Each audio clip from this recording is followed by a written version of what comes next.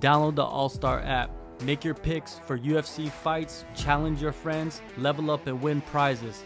Link in description. Get it now.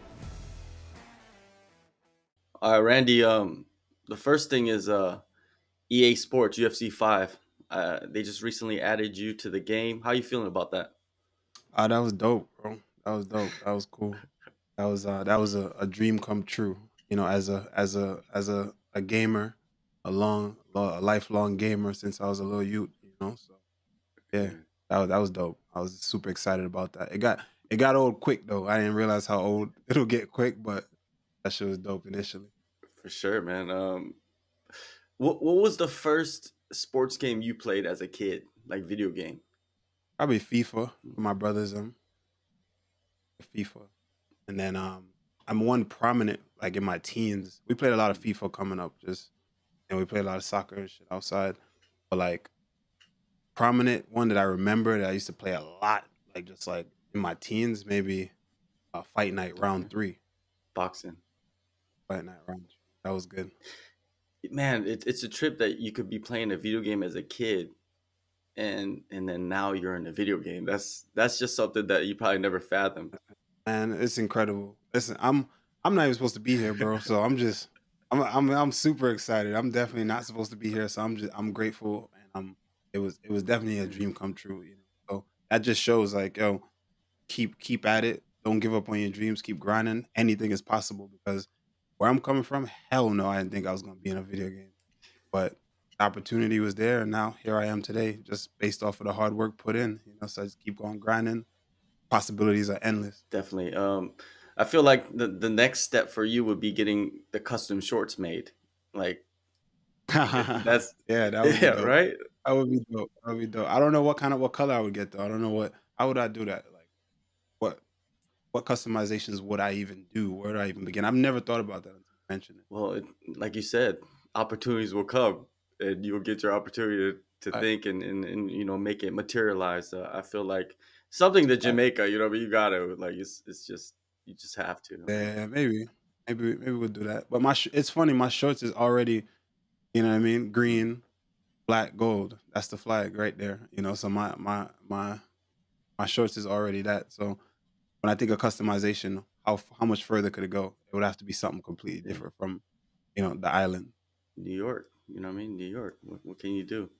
Um, we'll do that yeah, too. Yeah. Um, it will, it will come, man. It will come. Um, now the news was like a few months back Randy Brown versus Carlos Prates, UFC 309 and MSG. Perfect location, a great opponent. Mm. What happened to that fight?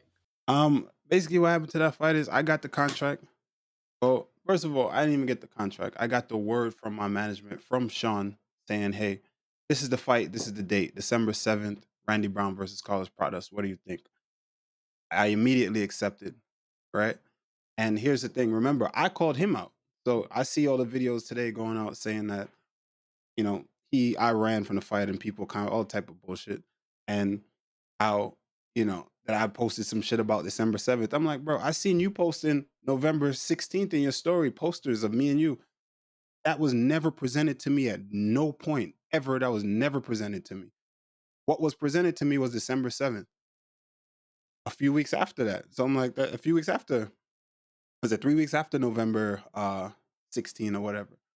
So I agreed right away to that, you know. But uh, and I and when I seen him posting that, I was like, well, that's not that's not the case. So I posted the poster of December 7th, and then all of a sudden he's commenting on it. His peoples are coming and they're saying that you know December November I want to come to New York and yada yada yada. I'm like, that's not what the UFC offered me. New York was never on the table for me. I've never had that conversation. They never came back and said, hey, you want to fight New York? I never had that conversation. So I don't know what happened there, but I want that fight. I wanted that fight at the time. All of a sudden, I see they gave uh, Neil Magny, gave him Neil Magny, and I'm like, all right, well, that's strange. Notice how I kept my date. My date didn't change. That's been the date I've been saying from the jump. I just got a new opponent.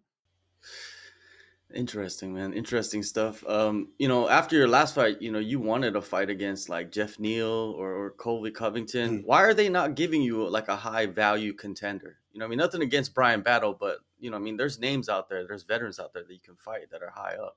I think they want to, and I think they've tried. You know, and there, there's guys that they've worked on. You know, matchmakers came back and you know they've just let me know like it was not easy matching me. Guys are just not quick. Uh, you know, contrary to popular belief, these dudes they're not quick to fight me. You know, it's not like I'm a, I'm an interesting puzzle for a lot of these guys to solve. Is no, no matter what anybody wants to say, but um, you know, if you got an opportunity, as far as Geoff Neal, you got an opportunity to fight um a former world champion coming up from lightweight on a three fight losing streak, or Randy Brown. Who you gonna fight?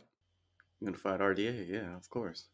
All right. And what happened in that fight? RDA blew his knee out and didn't even get touched and blew his knee out because he's over the hill. You know, that's just the game, bro. So um he chose wisely, that's all. Yeah, there's you know, there's that going on. You know, a lot of fighters will tell you like it's not as simple as as you think it is. Like you just get sent a name and then the guy has to say yes. It's there's politics deep in the there's UFC. A, there's a lot behind it, man. And I do deserve a rank. And I, I had the option to wait.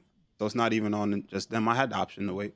But that's just not what I do. That's just not me. I need to be active. I like to get I like to get paid. I like to get out there and I like to stay fresh in the fans' minds. I like to continuously develop my skill set and show it. So another young contender, you know what I mean? Mm-hmm. Run him. Let's see. Let's see. Definitely. Um, you know, like you said, next uh up and comer, Bryan Battle. What are your thoughts on him and, and the fighting style that he has? Uh, tremendous athlete, uh, durable, um, lots of pressure, weaponizes cardio. But it's nothing that I've never seen before. I've seen a guy like this over and over and over, you know, throughout my career. Um, he's tough and he's gonna bring the fight. I love that. I just think that styles make fights. Certain shots that you take with other people those opportunities aren't going to be there for me. You're not just going to be able to just eat those clean like that with me. So, um, see what happens. I think it's a great fight. I think he's a great athlete. I think um, he's developed, you know, nicely.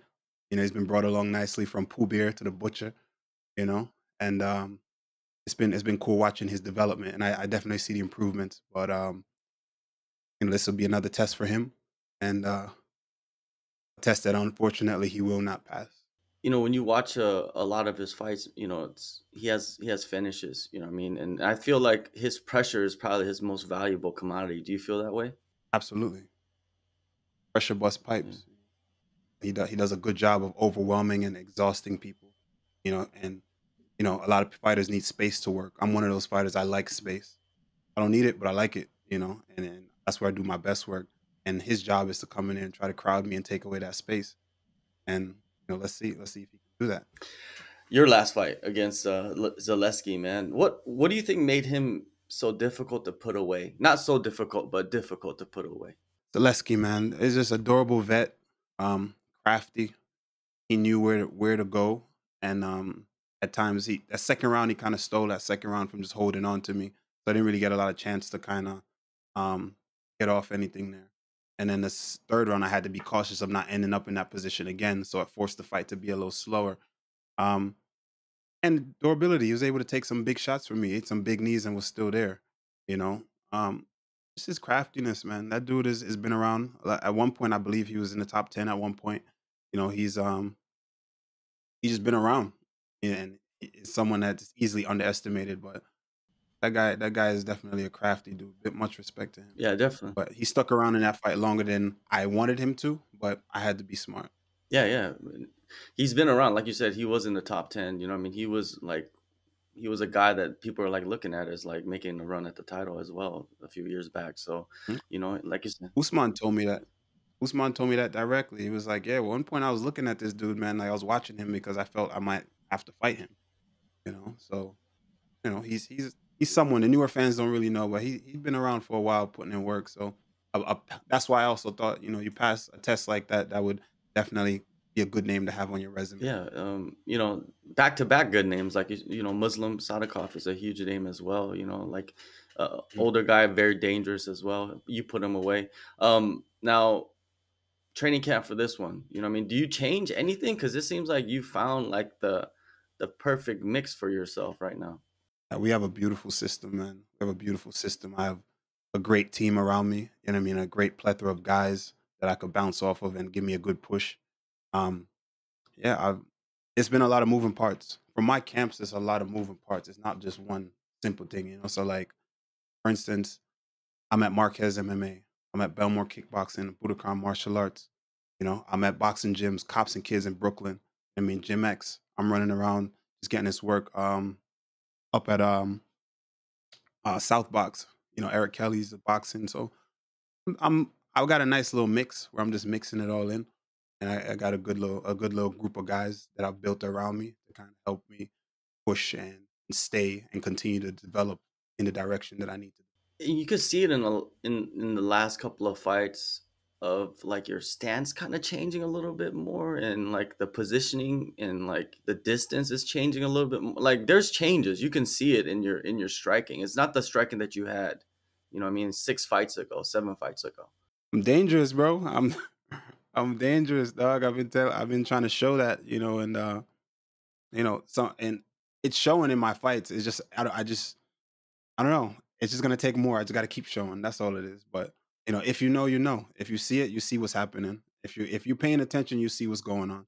You know, and people think that you know after you get to a certain point, you start to decline. But I've been I've been cooking steadily, consistently for years, and I'm still here doing the same thing, and I'm only getting better. I say that every time, but the proof is in the pudding. I show it every time, and this next fight will be no different. Yeah, you know, prolonging your prime. Like you're 34. You know, years mm-hmm. ago, people would say 34 is like the the cliff, like you're done. But you're 34 mm-hmm. and you're like better than ever. Like, why are mm-hmm. fighters mm-hmm. like prolonging their careers now? Why why do you think that's happening? Just a better understanding, better uh, technology, better understanding of just sports science. You know what I mean? Taking care of your body. I've invested in myself. You know, I heard LeBron say in, invested 1.5 million a year and something like that, and just taking care of himself and eating right and, and recovery and all that shit. So maybe not on that scale, obviously not, but still, you know, I've invested in myself tremendously. You know, I do well for myself, so I, I made it a point to, you know, put some bread into myself and and and make sure I can prolong that and just be smart and continue to push just as hard as I've been pushing throughout my entire career. You know, but um, we'll see. We'll see what happens when I start to hit, you know, the higher 30s. You know what I mean? But I'm definitely one of those people who's just smart. I've I eat right. I don't fuck around. I don't I don't smoke. I don't drink. I don't party. You know what I mean? So I'm fully dedicated to the lifestyle of being a fighter. So what it is. Yeah, you know, Pereira's like what is he like 37, 38 and he's in his prime himself, you know. I mean, it's insane, yeah. right? He he's a freak yeah. he's a freak and and at them bigger weight classes. So you got to understand them bigger weight classes they they don't rely on their speed as much as the welterweights and down. You know what I mean? So being fast at, at, at uh, in my division is a huge asset that I have. You know what I mean? And I pride myself in being a lot faster than all of them. You know, fast hands, fast feet, good footwork. My jab is probably the best jab in the game, I believe. You know, if you're paying attention, you see what's up. And mm, that's that's really it. All right, man. Let's talk about uh, the welterweight division, man. Three ten. You know, it was supposed to be headlined by uh Belal Muhammad and Shavkat. Now Belal, you know, he has a bone infection. You've seen the pictures, you know, I mean, bone infections are serious, serious things. What's your reaction to that and, and what's going on now? My reaction to that is uh shit, that's unfortunate, you know, especially on this card. You know I mean? What happens now is uh either interim title. I see um Usman, you know, making some noise. Potentially may he might jump in. But you know what? You know, I see it I think that we should do the same thing that uh if you look at the Pereira, what was that, the middleweight or 205? That was 205, right? Where they allowed another contender at number 10 to come up. And I think if we're in the top 10, I think that that's a 10. You're in, you're in the range. I think anybody in the, from 1 to 10 should be able to challenge for a title. So I think throw it to, throw it to somebody. Throw it to somebody who's on the board. I say throw it to Brady give Sean Brady a shot. And if he declines it because he's not ready, then pass it on to somebody else. You know, I think give the let's let's let's shuffle the deck a little bit. You know what I mean? Now we're bringing back Usman into the fold. What happens if he becomes the interim champion? What happens then he fights he fights uh Belal beats Belal, he's champion again, and then we're it's the same it's the same group of people again. You know what I mean? That's just how I feel. Yeah, I see what you're saying. You know, I mean, you know, a lot of people argue against that and say like, well, you know, remember when uh Khalil Rountree fought, like you said, at 205 and he was number eight. They're like, oh, he doesn't deserve, but like, mm-hmm. you, I kind of agree with you. If you're in the top 10, that means you're best in the world. You're best. The best. I don't understand. I never understood that. People don't understand that. For it's so strange. It's like you got to be one to three, and it's like, bro, how many people in the? There's like two percent of MMA fighters to set out to make it to the UFC that even get to the UFC, right? And then on top of that, it's about how many people per per division, about a hundred and something people per division, right? Then you to become one of fifteen to be considered the best out of those hundred or whatever in your division. And then not only one of 15, one to ten, that's a lot of work. You're you're fucking good. You're really, really good. And I think that they should be able to fight each other. yeah, that's You should be able to challenge for a title. So why true. not? True. Um, who who do you think wins? Because it seems like they're leaning towards uh, Usman and, and Shavkat. Who do you think wins that fight? I'm not sure.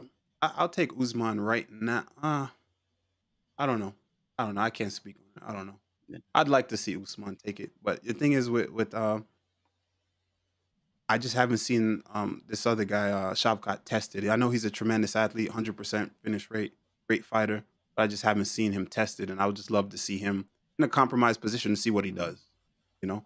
And I think Usman could do that. What happens when that happens? You know what I mean? Yeah, yeah. Usman ain't no junk, man. He's still best in the world, dude. Like I think people le- overlook him a lot, even though he's proven that he's Sure. good. I mean, a couple days notice against uh Hamza, and you just saw what Hamza just Yeah. So- Insane. Um, these new rules, man, they they're in effect now. These twelve to six elbows, the the definition of a Mm. ground opponent has changed. How do you think that these? How do you think these changes will impact fights? I think they'll they'll make a, a big difference. I think we'll see a lot more uh rear naked choke finishes, a lot more TKOs up against the fence on the uh when guys in those wrestling positions. Um I, I like that. I like the I like that it opens up more transitions and people taking their hands off the ground. People are more inclined to you're gonna see more guys drop to their knees instead of just hands. More guys will drop to their knees, and when you drop to your knee, that opens up more opportunity for the guy that that has you on your hands. You know what I mean? So uh, I think that's gonna be good. I like that one, and we've been playing around with it in practice. Even up to today, we're just messing around with some stuff there that I think is gonna be good. Twelve to six, I'm not a fan of.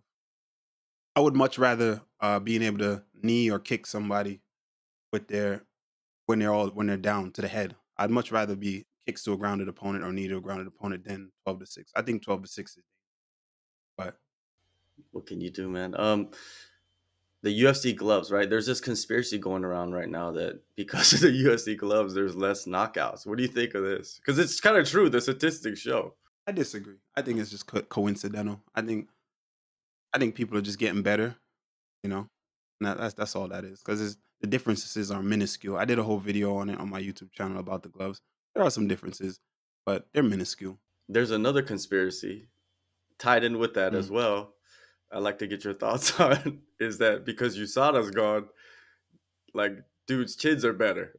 That's just, I'm just it's it, that's what they're saying. This is what the internet is saying. Do, do chins are better. Mm. I like that. hey, hey, hey, hey! Listen, man. That's a possibility. I don't give a damn. That y'all, you saw a dude that was the other night that fought uh, uh Renat on short on like short Yeah, notice. You in the you in gyms, you train, Yeah. you know what's up. Like look look at that dude. And there's people online that don't really understand. They just say Mhm. they just talk because they just want to talk. Yeah. Um, but people who have an understanding and know what that what what uh, testosterone looks like and Mm. you know, look at that dude. Look at him. Look at his back. Look at his chest. Like Yeah. you saw him last year, he had no pimples. Now the dude is covered in pimples. He's in his thirties, bro. We, what were we talking about? That that dude is sauced. And I'm- I was on Twitter like, yo, look at this fucking juice head, bro. Y'all just got this juice head just here on my TV in front of my face like this, blatant. like, get him out of here. Like, like- and then he won the fight, but then he got robbed. So I was like, all right, hey, that's karma. That's karma, bro, for sticking needles in yourself. But yeah, one hundred percent. I know dudes is sauce. Dudes be sauced up. That's just you saw that it, there's a testing in place, but it's definitely not as good as you. Mhm. One hundred percent not as good as you saw But what you gonna Yeah. do? Yeah, things will get better over time.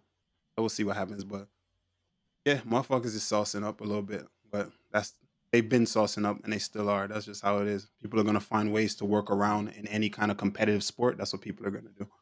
December 7th, man, you back in action. UFC 310, another pay per view. mm. shit, man, another opportunity. That's all it is. And I think Bryan Battle, like, he's gonna bring it, man. He's not gonna he's not gonna run. Yeah. That's one thing he ain't gonna do. Ain't no punk. Ain't no punk. He definitely gonna come and he gonna fight. And um, those are the guys that I like because they bring the best out of me. You force me to fight. You force me to. Uh, if I could stay and just pick you apart, and I'm that much better than you, I'm just gonna do that. But you get in my face and you force me to fight, then we'll see what happens. Good things happen when people fight me like that. So let's see what happens on December 7th.